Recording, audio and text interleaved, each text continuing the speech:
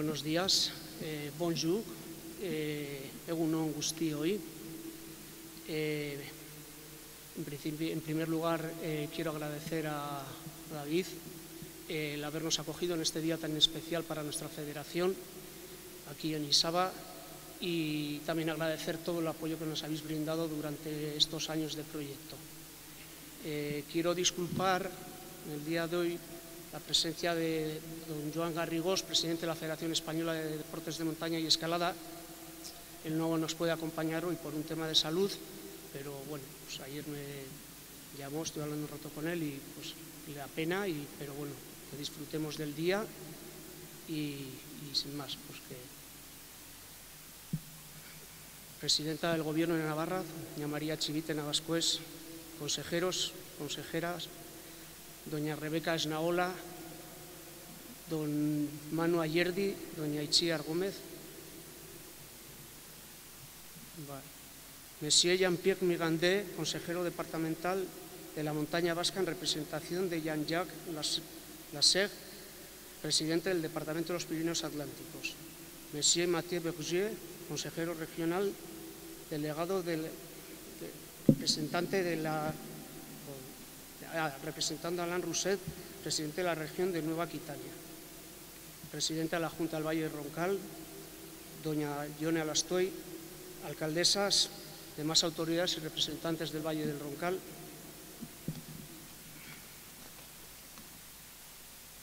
Gracias por acompañarnos en este día tan importante y especial para nuestra federación y, por supuesto, para el montañismo en Navarro. Aunque me atrevería a decir que la rehabilitación del refugio de Belagua Ángel Ororón ilusiona al montañismo en general más allá de las fronteras de nuestra comunidad. Cuando en 1971 Daniel Vidaurreta, siendo presidente del Club Deportivo Navarra, inauguraba el refugio llamado entonces de Belagua, por cierto, como bien ha comentado Miquel, 49 años, el año que viene se celebran los 50 años de su inauguración, no se podía que imaginar que en medio siglo de vida, 16 años los iba a pasar cerrado, dejando al montañismo en Navarra desolado y con un sentimiento de que algo nos faltaba. Teníamos que hacer algo para revertir esta situación. Por eso, hace seis años, la Federación Navarra de Deportes de Montaña y Escalada se embarcaba en el proyecto Poctefa Belaruat 214-16, como financiado a tres bandas, como sabéis, con fondos FEDER, un 65%, un 25% Gobierno de Navarra y un 10% nuestra federación.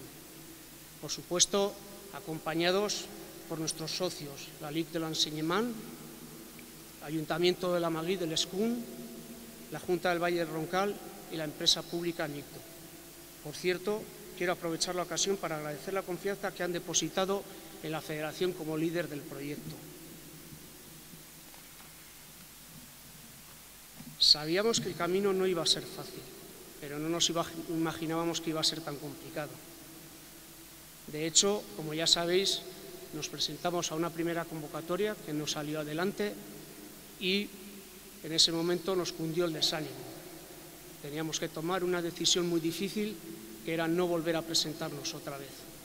Pero unas personas que se nos cruzaron en el camino y a las que me vais a permitir que haga mención a doña Ana Herrera, ex consejera de Cultura y Deporte del Gobierno de Navarra, y a don Rubén Goñi, director general de Deporte en ese momento, nos animaron a seguir adelante. No lo dejéis, volver a intentarlo, ¿vale? Así lo hicimos, siguiendo sus consejos. Por eso, el día 9 de noviembre de 2018, tuvimos la noticia de que el proyecto Belaruat había sido aprobado. Fruto de ello, hace dos años comenzaban las obras en ese momento. En ese momento teníamos un edificio abandonado, con graves problemas constructivos, fuera de uso, pero por contra el refugio mantenía su imagen potente, arraigada en el recuerdo colectivo con una historia importante en el montañismo navarro. La obra acometida es una rehabilitación ecológica que utiliza los estándares actuales de bioconstrucción y bioclimatismo para mantener, para integrar el nuevo refugio y su actividad en el medio natural que lo sustenta. La obra no ha sido fácil, por la forma y estructura del edificio, por la dificultad de integrar las nuevas instalaciones en el, el, esfuerzo ha sido muy grande, pero el resultado es un edificio hermoso el corazón de Belagua a disposición de la sociedad. En el proyecto Belaruad, la parte más visible es la rehabilitación del refugio, pero también conlleva actividades transfronterizas realizadas a cabo por la empresa Natura con Miquel Sarobe al frente, como campamentos, marchas montañeras, actividades en la naturaleza y demás.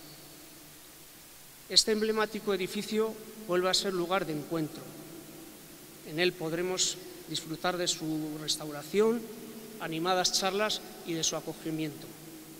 Pero el refugio también va a ser un referente en las actividades de montaña, cursos de la Escuela Navarra de Alta Montaña, formación de nuevos técnicos en montaña, estudio del manto nevoso y un punto importante, la seguridad en montaña.